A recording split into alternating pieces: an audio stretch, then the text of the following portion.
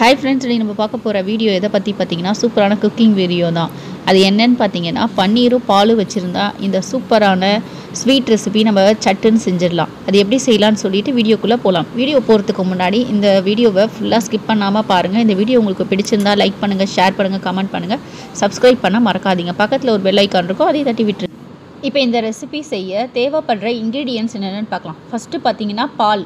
Next முந்திரி பருப்பு ஏலக்காய் தூள் பன்னீர் க்யூப்ஸாக எடுத்திருக்கேன். நெக்ஸ்ட்டு பாதாம் பவுடராக இருந்தால் ஓகே இல்லை முழு பாதாமாக இருந்தால் ஓகே நெக்ஸ்ட்டு சக்கரை. இதுதான் நம்மளுக்கு தேவைப்படுற இன்க்ரீடியன்ஸ் இப்போ அடுப்பை பற்ற வச்சுருக்கோம்.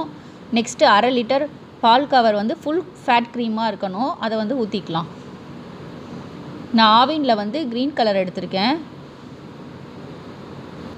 நெக்ஸ்ட்டு பால் பொங்குற வரைக்கும் நம்ம வந்து வெயிட் பண்ணணும். பாலை அடுப்பில் வச்சுட்டு நீங்கள் கையை விட்டுட்டு கிளறிட்டே இருக்கணும். இது மாதிரி கிளறிட்டே இருந்தால் தான் பால் பொங்காது. அதே மாதிரி அடுப்பை பார்த்தீங்கன்னா கொஞ்சம் பொங்குற ஸ்டேஜில் வந்து சிம்மில் வச்சுக்கணும். சிம்மில் வச்சு இது மாதிரி கலந்து விட்டுட்டே அந்த சைடில் அந்த ஏடு வரும். அதெல்லாம் எடுத்து விட்டுக்கிட்டே இருக்கணும். இப்போ இது பொங்குது. இப்போ இந்த ஸ்டேஜில் சக்கரை பார்த்தீங்கன்னா ஒரு மூணு கரண்டி தோராயமாக எடுத்திருக்காங்க.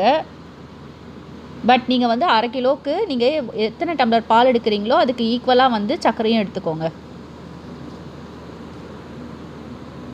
இது மாதிரி நல்லா கலந்து விட்டுக்கோங்க.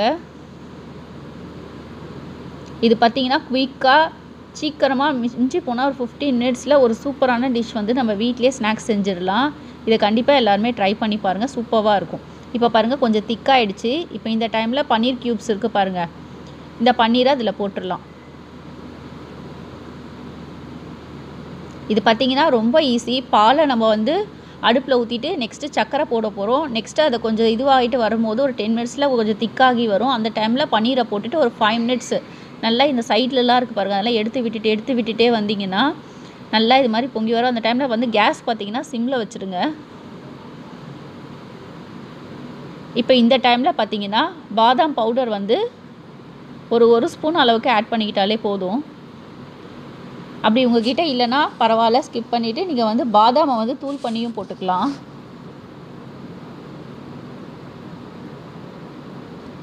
இப்போ அவ்வளோதான் இது மாதிரி போட்டு நல்லா கலந்து விட்டுக்கோங்க.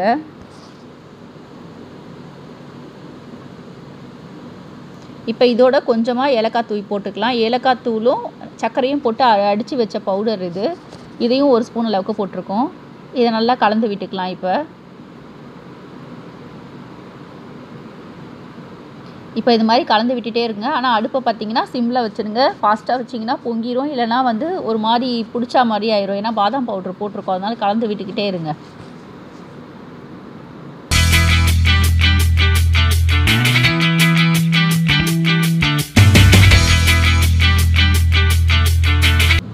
எதுக்காக நம்ம இவ்வளோ நேரம் வந்து கலக்கிட்டு இருக்கோம்னா பன்னீரோட க்யூப்ஸில் பார்த்தீங்கன்னா பால் நல்லா ஊறணும்.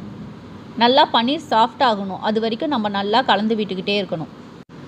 இந்த ரெசிபி செய்ய நம்மளுக்கு பார்த்தீங்கன்னா ஒரு டுவெண்ட்டி மினிட்ஸ் தான் ஆகும். ஃபஸ்ட்டு வந்து பால் அடுப்பில் வைக்க போகிறோம் நெக்ஸ்ட்டு ஒரு டூ த்ரீ மினிட்ஸ்க்கு அப்புறம் சர்க்கரையை போட போகிறோம் சர்க்கரை போட்டு நல்லா திக்காகி லைட்டாக கொஞ்சம் திக்காகும் போது பன்னீர் க்யூப்ஸை போடுவோம். நெக்ஸ்ட்டு பன்னீரை நல்லா கிளறி விட்டுகிட்டே இருந்துட்டு பாதாம் பவுடர் இருந்தால் பாதாம் பவுடர் போட்டுக்கோங்க. இல்லைனா அந்த டைமில் பாதாமை பவுட்ரு பண்ணி போட்டுக்கலாம். நெக்ஸ்ட்டு பாருங்கள் இப்போ வந்து பன்னீர் வந்து நல்லா வந்து உள்ளே வந்து அந்த ஜூஸ் பால் போய் இறங்கிடுச்சு. அப்போ வந்து சாஃப்டாக இருக்கும் உங்களுக்கு. அந்த டைமில் வந்து இது மாதிரி முந்திரி பருப்போ இல்லை இந்த டைமில் உங்களுக்கு பாதாம் இருந்தால் சின்ன சின்னதாக நறுக்கி போட்டுக்கலாம்.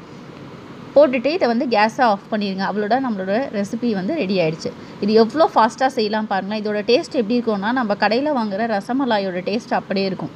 இதை கண்டிப்பாக ட்ரை பண்ணிவிட்டு எப்படி இருந்துச்சுன்னு சொல்லிவிட்டு எனக்கு கமெண்ட் பண்ணுங்கள் இது மாதிரி வீடியோஸ் உங்களுக்கு வரணுன்னா இந்த வீடியோவை லைக் பண்ணுங்கள் ஷேர் பண்ணுங்கள் கமெண்ட் பண்ணுங்கள் சப்ஸ்கிரைப் பண்ணுங்கள் பக்கத்தில் ஒரு பெல் ஐக்கான் இருக்கோ அதையும் கொஞ்சம் ப்ரெஸ் பண்ணி விட்டுருங்க. Thank you friends